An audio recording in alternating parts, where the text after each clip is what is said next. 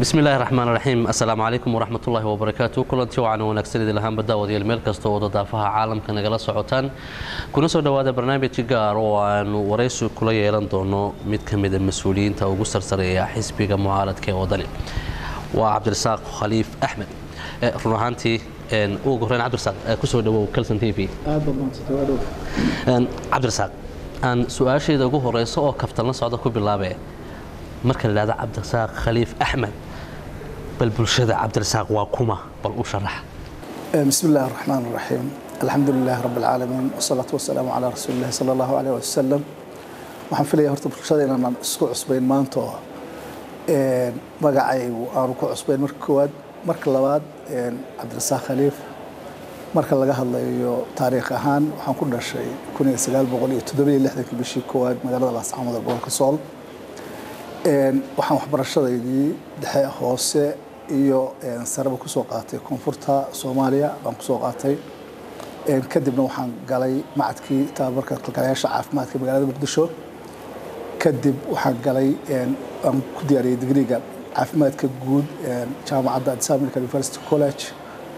Waxaan runtii xilliyadii burburka dowladdii dhexe ee soomaaliya iyo kala go-ii dowladda somalilan iyo soomaaliya aan u wareegay koob iyo sagaashankii halkan waxaana shaqo ka bilaabay magaalada berbera ganacsi. Waxaan madax ka ahaa shirkad ganacsi oo la yidhaha sabaco. Markii dambena kun iyo sagaal boqol sagaashan iyo toddobadii waxaan ka noqday guddoomiye ama shirkadda amal express ee xawaaladda qaybteeda somalilan oo aan hayey ilaa laba kun iyo tobankii. Xilligaasoo madaxweynuhu ii magacaabay wasiirka wasaaradda ganacsiga warshadaha iyo dalxiiska muddo saddex sanadooda aanan hayay kadib waxaan noqday wasiirka wasaaradda howlaha guud gaadiidka iyo guryeynta. Laba kun iyo waxaan filayaa inay ahayd shan iyo tobankii oktoobar lix iyo labaatankeedii ayaan iska cadsilay xilkii aan u hayay xukuumadda hadda jirta. Dhaliilo markaa jiray oo aanu tabanaynay darteed. Intii ka dambeysay muddo waxaan ka tirsanaa isbahaysigii xisbiga kulmiye oo ahaa garab ka mid ah labadii garab ee xisbiga kulmiye u kala jabay. Kadibna waxaanu wada gallay heshiis oo aan ku biiray xisbiga wadani bishii oktoobar ee sannadkii maxaa laba kun iyo lix iyo tobankii. Hadda waxaan ahay xubin ka tirsan hogaanka sare ee xisbiga iyo xogeyaha maaliyadda ee xisbiga wadani waad mahadsanta waa tahay cabdirasaaq hadda kolley in fara badanoo ku taqaanaynaa waa ay ku daawanayaan. In fara badanoo aan ku garanayna way kaa dharagsan yihiin. Cabdirasaaqow dhanka siyaasadda ayaa kolley bulshadeennu ay u fara badantay. Siyaasadda iyo arrimaha bulshada labadaba waan isku qaadi doonaaye bal maanta. Bulshada ku daawanaysa waxaad la wadaagtaa xaqiiqada dhabta ah ee ka dambeysay ujeeddadii ahayd in aad xisbigii kulmiye ka go'daan maxaa sababay? Waxaan u malaynayaa arrintaa iyada ah saxaafaddu de in badan bay ka hadashay annaguna in badan baanu ka hadalnay. Waxay uuna ahayd duruufo ku gadaanaa xisbigii kulmiye iyo qaabkii loo maamulay iyo xukuumadda markaan soo ururiyana waa runtii waxaan ku cabiray maalintii aan shaqada ka tegayey in aanu cadaalad darra tirsanay oo ay ahayd xisbigu inuu noqdo xisbi sida xisbiyada kale jira xisbi dimuqraadiya lagu tartamo madaxtinimadiisa dadkana u dhexeeya cid kasta oo han siyaasadeed leh oo ay rabto dalka kan inay madax ka noqoto. Marka labaad madaxweynaha oo ahaa hogaamiyihii guud ee qaranka inuu arrintaa iyada dhex ka noqdo markii taa ay nooga muuqan weyday xisbigii runtiina ay noqotay in qaab aanan markaa anagu ku qancin iyo cid aanan ku qancin inay markaa saalix u tahay hogaanka dalka. Meeshii la keenay waxaanu go'aansanay inaanu dawiirkayaga raali gelino dadkayagana raali gelino. Oo xilkaa isaga ah ka tagno waad mahadsanta waa tahay cabdirasaaq hadda waxaa tahay xoghayaha maaliyadda. Xisbiga wadanina waad ku soo biirteen. Xisbiga wadani markaad ku soo biirayseen ma cadaaladii baad hesheen baad bulshada leedahay? Mise weli cadaaladii waad raadinaysaan horta marka ugu horeysa waad ogtoo waxaynu samaysanaa axsaab qaran. Axsaabta qaranku waxa weeye waa meesha qofku marka uu doonayo inuu isbeddel sameeyo ama uu aaminsan yahay dadkiisa inay wax ka maqan yihiin. Waa meesha keliya sharciga loo mari karo. Xisbiyada jiray waxay ahaayeen xisbigii kulmiya oo aanu ka nimi aanuna dhaliilay xisbiga wadani ee mucaaradka iyo xisbiga ucid waxay noola muuqatay platformyada yaallay saddexdaasun bay ahaayeen. Sida aad ogtahay caalamka meelo badan baa waxaa ka jira. Meelo xitaa qofku si independent ama madax bannaan u tartami karo laakiin inagoo ilaalinayna duruufaheenna iyo shuruucda dalkeena. Waxaanu ku qanacnay markaanu eegnay barnaamijka xisbiga markaanu aragnay hoggaankiisa markaanu aragnay waxaanu aaminsannahay maanta intii saaxada ku jirtay. Ciddii una ugu roonaydee la odhan karayay waxbaa la wada qabsan karaya inay ahaayeen sidaad ogtahay maanta siyaasiyiinta saaxada ka muuqata lama odhan karo guud ahaan annaguba aanu ka mid ahaana waa intii dadka ugu fiicnayd. Laakiin intii muuqatay ee saaxada u soo baxday bay ahaayeen. Sidaa darteed xisbiyadii saaxada yaalay waxaanu isleenahay ciddii ugu firoonayd ee aad dooran karayseen bay ahaayeen. Waa tahay cabdirsaaq maanta waxa aad xubin sare ka tahay xisbiga wadani bal haddaba xisbiga wadani waa xisbigee bal bulshada u sharax. Runtii xisbiga wadani waa xisbi mucaarada marka koowaad marka labaad waa xisbi doonaya inuu isbeddel ka sameeyo wadanka waa xisbi leh aragti siyaasadeed uu ka duulayo oo ah isbeddel dhab ah oo dalka ka dhaca. Isbedelkaasoo dalka u horseedi kara barwaaqo u horseedi kara cadaalad u horseedi kara iyo in dalku inuu horumar runtii uu gaadho. Xisbiga wadani wuxuu leeyahay barnaamij siyaasiya oo runtii aan qarsoonayn qof waliba uu ka dheehan karo ama barta xisbiga uu leeyahay ka dheehan karo. Amaba si caama loo soo bandhigo idinka laftigoona aad qayb ka ahaydeen saxaafadda markii loo soo bandhigay oo barnaamij buu xisbigu leeyahay wuxuu leeyahay istaraatiijiyad shaqo iyo qaabka u shaqeeyo buu leeyahay. Marka waxa weeye waxaa laga dheehan karaa qof kasta oo uu doonaya uu ka dheehan karaa xisbiga wadani siyaasadiisa hoggaankiisa xubnihiisa qaabka uu dhisaya waxa uu doonayo waxa uu higsanayo waxaa laga dheehan karaa barnaamijka xisbiga. Waa tahay mudan cabdirasaaq waad carabowdo abaaraha qaybaad ka tihideen horena waqti ballaadhan oo guddoomiyaha iyo hogaamiyuhuba ay ka mid yihiinba waxa u tegeen dalkaasi nairobi. Waxaanay sheegeen in lacag fanraysana horta lacagtii fanraysinka ahayd halkay ku dambeysay. Horta fundraising marka laga hadlayo waa waxyaabaha ay dadkeenu ay bixiyeen baa la odhan kara waa fundraising. Laakiin waddamada caalamka ama safaaradaha caalamiga ah aynu la kulannay waftiga ka mid baan ahaa aanu la kulannay ballanqaad bay sameeyeen ballanqaadkii ay sameeyeen waxay u yimaadeen dalka waad ogeydeen ballanqaadkii way sii adkeeyeen markii ay halka yimaadeen. Waxayna sideedaba hay'adaha caalamiga waxyaabaha ay bixinayaan waxay mariyaan iyagu. Janalla ay iyagu leeyihiin bay mariyaan. Waxaa laga yaabaa qaarkood inay soo mariyaan. Hay'adda cuntada adduunka ay soo mariyaan qaar ay soo mariyaan. Maxaan dhahday s d f ama mashruuca la yihahdo somaliland development fund inay soo mariyaan. Laakiin inta badan ma jirto. Weliba khaasatan marka dowladdu dowlad la aqoonsan ayaan ahayn. Dee dowlad lacag gacanta laga gelinayo fan oo dowladda gacanta laga gelinaya in aanay jirin laakiin waxay ahayd uun inaynaan qaylada yaraysan. Midda labaadna inaan lagu baraarugin. Xilli xadhiya fudhaalkala dhaceena aanu maaragtay early warning aanu sii samayno. Waad ogeedeen xilliga aanu tagnay waxay ahayd. Xilligan abaartu halka kan hadda ay maanta gaarsiisan tahay. Ayaan gaarsiino bishii December. Bay ahayd. Maantana waad ogtoo bishii afraad baa lagu jiraa. Marka qaylada maanta la diraa waxba bedel ka soo gaari mayso waxay ahayd fafaalihii muuqday markii la eegay iyo dalku siduu ahaa. Baa wafdigu wuxuu tegey dalka maartay Nairobi uu tegey tan dambana waxay ahayd barnaamij maadaama ay barayeen waddamada Yurub looga faa'iideysanayay runtii waan u hambalyeynaa waan uga mahadnaqaynaa dadkii reer Soomaaliland arrinta iyada ah ka qayb qaatay. Saad ka warqabtaba abaarihii waxaa ka awood badnaaday sixir barar. Ka xisbi ahaan arrintaasi ma idiin muuqataa maxaase aad bulshada ugu taakulaynaysan ama aad ugu qabanaysaan xaaladda taagan ee abaarta waxaa ka awood badan maanta oo shilinkii la soo diro haddii boqol doolar la soo diro maanta reerkii dhannaan berigii hore biisan jirin waxba uma goynayo. Arrinta abaaruhu ma idiin muuqdaan maxaadse ka leedahay? Runta arrintan sicir bararka hortada waa mas'uuliyad xukuumadda saaran.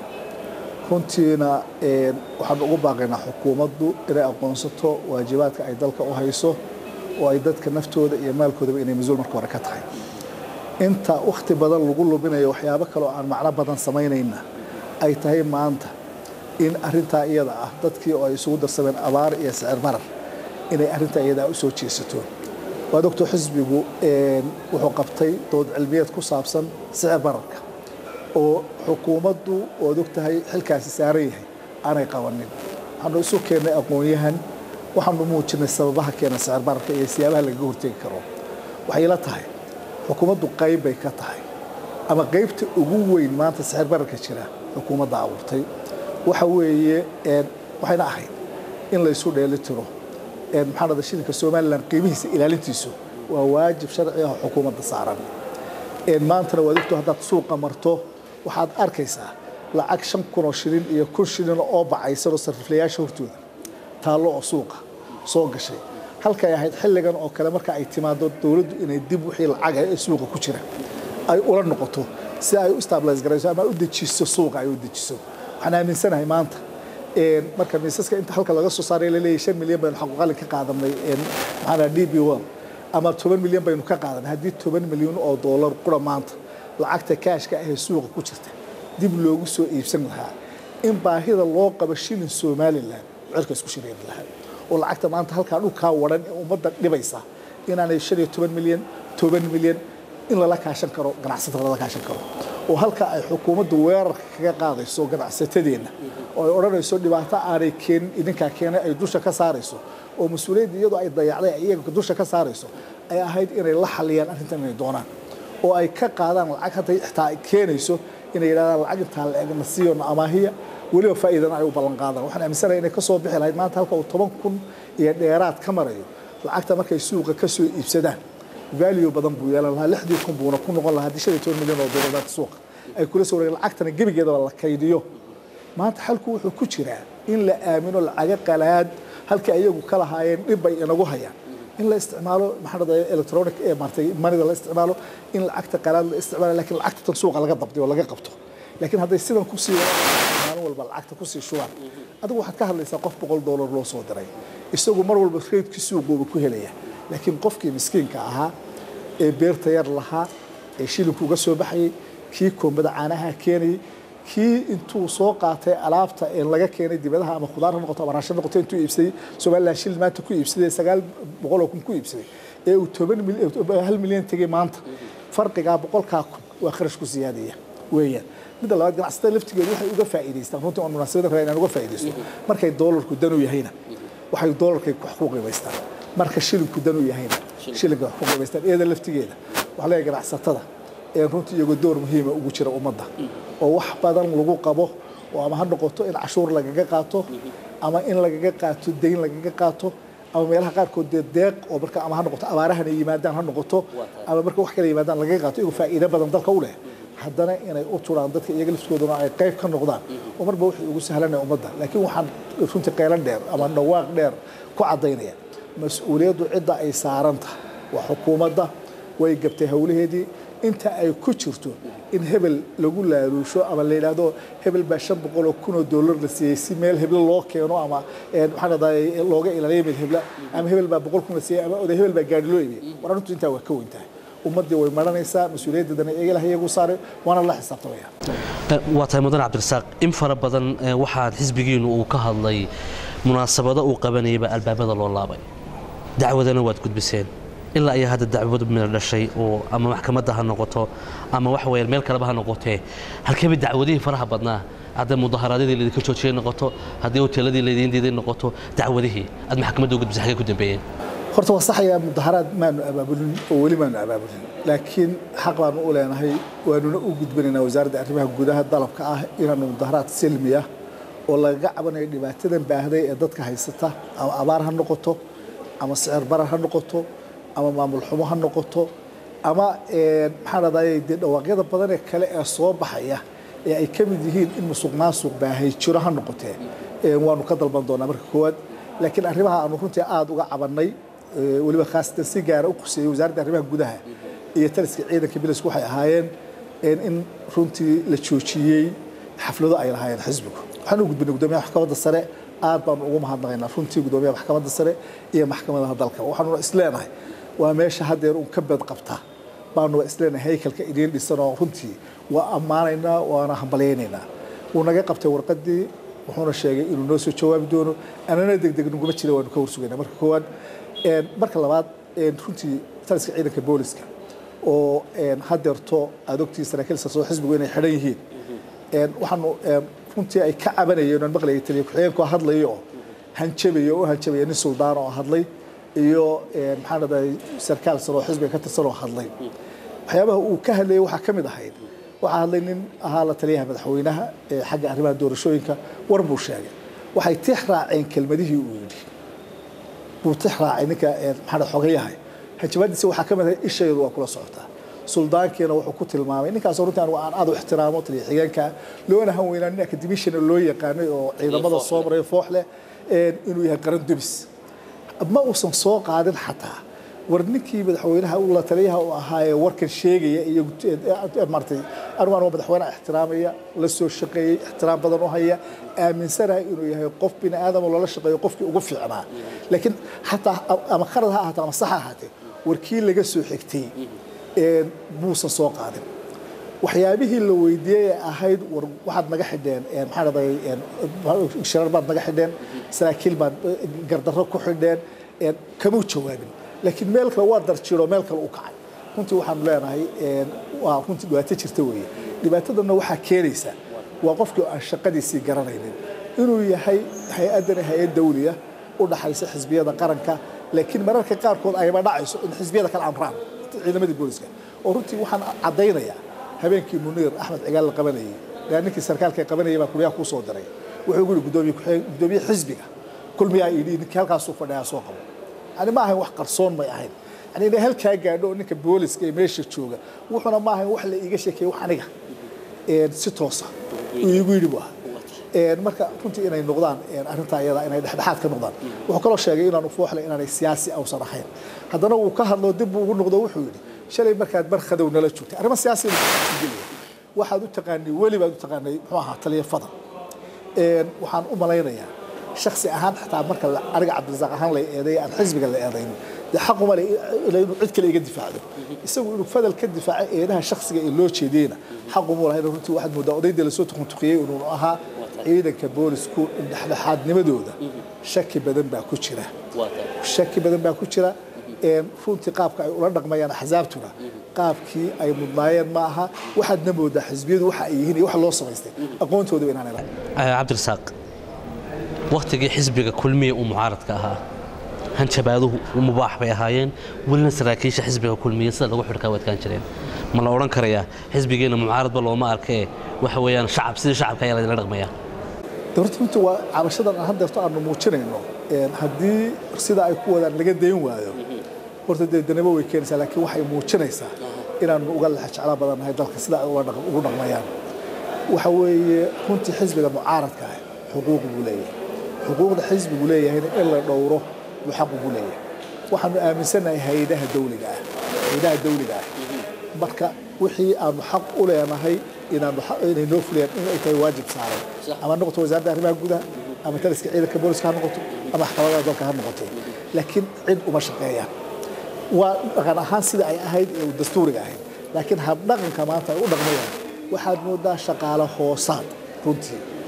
Iyagu halkaa hadday isdhigaanna war dalku sidan ku socon maayo waa uun burburuun bay keenaysaa in haykalkii dawliga ahaa burburo bay keenaysaa in nidaamkii burburo bay keenaysaa in kala dambayntii burburo bay keenaysaa. Waxay keenaysaa in kalsoonidii iyo taraskii lagu qabay oo qofka ninka booliska marka aan arko aan aaminsanaa inuu yahay kii ammaankayga aniga ilaalinayay. Markaan aamino inuu tirat igu yahay aniga inuu igu yahay duulaan igu yahay. Markaan aamino iminka guddoomiyihii xisbiga oo soconayabaa wuxuu tegay saldhigga isagoo qof booqanaya. Qof aan kriminaal ahayn weliba markaasaa dacwad laguma soo oogina markii dambe wax dacwada ma hayna la yidhi oo ay la noqdeen baa waxaa loo diiday guddoomiyihii xisbiga oo ah guddoomiyihii baarlamaanka oo ah ninkii saddexaad ee dalka yacni inaan marka nidaam siyaasi jirin iyo kala dambayni jirin bay muujinaysaa qofku uu meeshaa u haysto. Waxa weeyaan runtii waxaan xusuusanayaa sideed iyo lixdankii markuu gabayayey ninka la yidhahdo xajaadan afqalo uu lahaa warqad jananku teebku ugu qoray saajin kugu toogo marka inay noqonayso xaaladda uun marayso ninkaa meeshaa haystaa sidii uu doono ee aanay sharci uu runtii iyo kala dambaynaynaya waa tahay mudan aan ku sii socday dhanka doorashooyinka. Fooday nagu soo hayaan. Isla markaasina dhowaan baa la sheegay in guddi nustambeed la yidhaahdo la magacaabi doono. Waad dhaliisheen waad ka soo horjeedsateen waa maxay walaaca aad ka qataan nustambeedkaas? Walaacaanu ka qabnaa waxa weeye inaanu sharciga waafaqsanayn. Wax kastoo aan sharciga waafaqsanayna aqbali mayno waxa weeye hay'adaheenna dastuuriga ah mid walba shaqaa dastuurku siiyey komishinka doorashooyinka qaranka ayuu siiyey qabashada doorashada uu siiyey dastuurka. Haddii wax muran ay yimaadaanna maxkamadda dastuuriga buu siiyey. Marka mustambeedku waynoo dhisan yahay waa maxkamadda dastuuriga. Ah meesha ay xukuumaddu ka dhaliishay bay ahayd inay dadka u soo bandhigaan oo ma maxkamadda ay dhaliishay ma komishinka ay dhaliishay waa iyo cidda shaqadeeda ku fillaan weyday ma iyagaa warwar kala galayoo si kale wax ugu muuqdeenoo cid gaaroo cid bay shaqo u samaynayaan oo rabaan inay ku naasnuujiyaan dada waxaan rabaa cidda su'aashani ay ku habboonayd in la weydiiyo. War sharcigii iyo haydihii dastuuriga waynoo dhisnaay waana inoo dhammaystirnaayeen. Qabyada xagee idinka muuqatay maxaa la weydiiyey runtii xukuumadda waa tag Eh, mudan cabdirasaaq wadahadallada khaatumo. Wadahadallada khaatumo. Saad ka warqabtaba waxa weeyaan iminka in fara badan ayay soo socdeen. Een, cabdirasaaq ahaan sidee kula muuqataa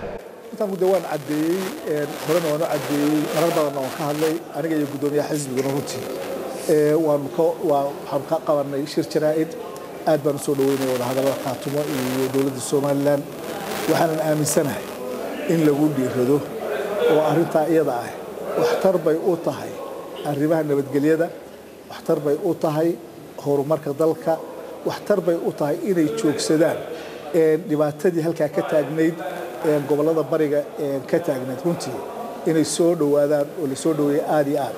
Runtiina waxaan aaminsanahay milil guudkii lama dhaye arrintan iyada ah tabasho aad u ballaaran aad u ballaaran iyo kala duwanaansho aragtida lagu kala duwan yahay baa jirtay.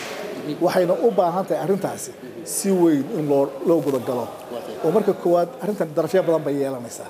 Waxay yeelanaysaa sistamkaa dhisnaa ee khaatumo oo ahaa runtii dee nidaamkii siyaasiga ay hogaaminayeen waxaa jira madax dhaqameedkii oo intoodii badnayd boqolkiiba sagaashan ay inaga maqan tahay aragtidana aynu ku kala tagsannahay waxay u baahan tahay arrintaasi dhirin dhirin iyo xikmad. Ee runtiina qaabka xukuumadda u bilowday. Aad baan u dhaliilaya. Aad iyo aad baan u dhaliilaya. Waxaanan aaminsanahay. Dad uu aan anigu aan aaminsanahay inay dadkii lagu halayn lahaa iyo dadkii hawshaa ka midha dhalin lahaa. Midna inaanay ahayn oo aanay awooddoodii lahayn aqoontoodii lahayn mid dhaqan hadday noqoto mid siyaasadeed hadday noqoto waxa meesha yaalla iyo duruufaha ku xeeran hadday noqoto. Marka labaadna dad wax fulin kara oo iyagu dadkii ay awooddu ka go'aysay. Aanay ahayn. Runtii waan aaminsanahay aad baan se u soo dhoweynaya inay bilaabeen laftigeedana waa ku hambalyaynaya waa tay mudan cabdirasaaq inagoo guntiga gabagabadii ku sii dhow wadahadallada khaatumo haddiiba lagu guulaysto. Waxaa laga qabaa walaac fara badan oo isbeddel dhanka xukuumadda iyo xisbiyada intaba ku keeni karo maadaama oo cali khaliif iyo beelaha uu ka soo jeedo ay saamayn xoogan ku yeelan doonaan oo saamigoodii la eegi doono arrintaasi ka siyaasi ahaan say kula muuqataa. Runtii de horta heshiiska lala gala khaatumo wuxuu noqon doonaa heshiis laga galay marka si guud afkaba loogu ballaadhiyo beesha dhulbahanta Een, waa soo dhoweynaya wax kasta oo u kordha waxaanan aaminsanahay oo anigu xilka hayana aan idhi inaan resourceka dalku qaybsanayn oo aanan markaan joogayna la gaban jirin. Haddeeroo aan dibadda joogana iyo taasina way ka xag jirtaa. Marka waxaan aaminsanahay heshiiska ay galaan khaatumo ama dhulbahante iyo somalilan een ay galaan inuu wax weyn u kordhinayo dalka iyo deegaankaba u kordhinayo. Guud ahaan in somalilan wax u kordhinayo. Oo halkii lagaga jiray dagaal halkii lagaga jiray maxaa colaad halkii lagaga jiray difaac lagaga jiray in loo jeesanayo wax ka duwan oo ah horumar in loo jeesanayo. Runtii aad iyo aad baan anigu runtii u soo dhoweynaya isbeddel kasta oo yimaadana ma aha qof la bedelay oo xil waayey ama qof helay ujeeddadu maaha saameyntuma noqonayso. Waxay noqonaysaa war maxaa guud ahaan dalka u kordhaya? Gaar ahaan deegaankan iyo dadka kan maxaa u soo kordhaya? Qof kastoo siyaasiyana waxaa laga rabaa inuu qiimeeyo uuna ogaado. Rag baan arkayay arrintaa iyada aad uga warwarsanoo xukuumadda hadda ku jira. Waxaan aaminsanahay cidda wax u kordhaysa ee magac kordhaya inay tahay cidda maanta xilka haysa. Haddii ay ku guulaystaan haddii ay ku guulaystaan inay deegaankoodii nabad ku soo dabaalaan haddii ay ku guulaystaan inay joojiyaan dhiigga baxa daadanaya haddii ay ku guulaystaan in deegaankoodii iyo dadkoodii waxbarasho helo oo horumar helo hadday ku guulaystaan cidda wuxuu kordhaya waa ninka maalintaa xilka haya. Laakiin baqahan ay qabaan ah xil baad waayaysaa runtii waxaan is leeyahay waa waa iska damiir xumo iyo aragti gaabnimo aan aaminsana. Mudan cabdirasaaq ka xisbi ahaan doorashadii wax yaroo kooban baa inaga hadhay idinka xisbigiinnu ilaa iyo hadda waxaa laydinku dhaliilaa inaydaan ahayn xisbi mucaarad oo aan u carbisnayn sidii xisbiga kulmiya uu mucaaradka u ahaa wakhtigii xilka intaanu qabanin. Sidee baad ugu diyaargaroodeen waa maxay awoodaha aad isleedihiin waad ku hanan karaysaan dalkan iyo dadkanba. Horta haddii mucaarada haddii cay loo yaqaano daacaytaba mayn horta marka koowaad laakiin waxaan u malaynayaa waxa ugu muhiimsan ee loo baahan yahay ee lagu dagaalamaya waa barnaamij. Waxaanu rabnaa oonu soo bandhigaynaa barnaamij aanu dadka ku qancinayno aanuna u tusayno inaanu nahay cidda ugu mudan ee la dooran karo. Haddii la doortana dalkan wax ka bedeli kartaa annagu taayadu wataa. Waxaanu samaynaynaa barnaamijyo aanu ku soo bandhigayno iyo dooda furan. Wixii dhibaatooyin ee dalka ka jira oo aanu la wadaagayno aqoon-yahanka dalka aanu la wadaagayno siyaasiyiinta aanu la wadaagayno saxaafadda aanu la wadaagayno laakiin noqon mayso arrintayadu. Sidii la odhan jiray dhingad baanu kaga soo saaraynaa iyo waxaayna haysta ninaan geyin iyo halkaa annagu. Xaaladaydu gaari mayse.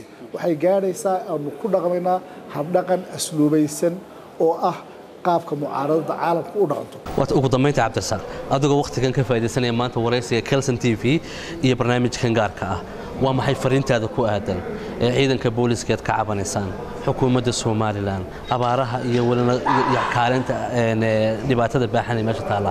Fursadda adoo ka faaidaysanaya waa maxay fariintaada ku aadan eed intaas baad faraysaa marka koowaad markaan ka hadlo tan tabashada haydaha dawliga ah sideedaba waxaa markii kale fariintan u gudbinaya inay yihiin adeegayaal qaranka u adeegaya ayna u siman yihiin saddexda xisbi. Qofku maalinta ay cod gaadho xaq buu u leeyahay qofka uu codka siinayo laakiin shaqada uu qabanaya inay tahay shaqo qaran ayana iskaga khaldamin shaqada xisbi ama xukuumad ay leedahay u shaqaynaysa xisbiga iyo shaqada uu leeyahay.